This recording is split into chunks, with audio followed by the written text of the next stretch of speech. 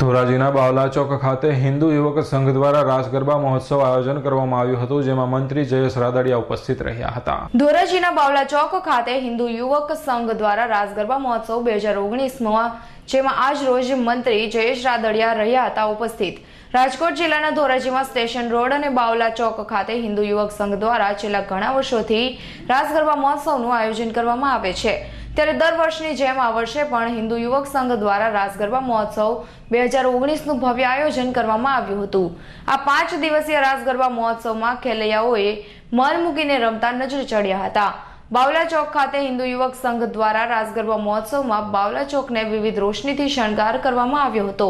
ધોરાજીના નાના મોટા તમામ ખેલૈયાઓ મન મૂકીને રમતા નજરે ચડ્યા હતા.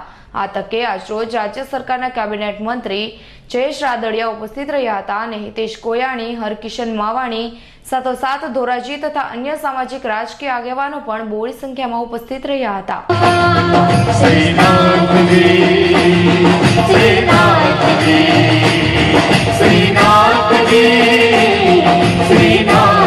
Thank you.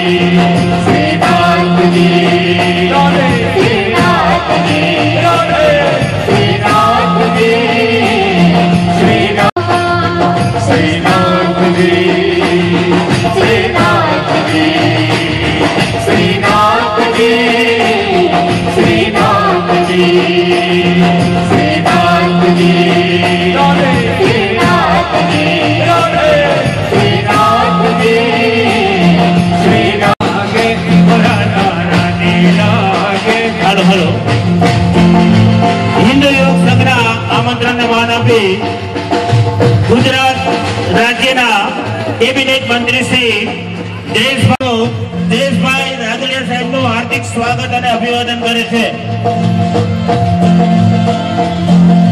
વિઠ્ઠલ વિઠ્ઠલ વિઠ્ઠલા હરિ વિઠ્ઠલા સમગ્ર દેશની અંદર અત્યારે માતાજીના ગુણગાન ગાવા માટે માતાજીની આરાધના અને સ્તુતિ માટેનો તહેવાર નવરાત નવરાત્રિનો તહેવાર ચાલી રહ્યો છે.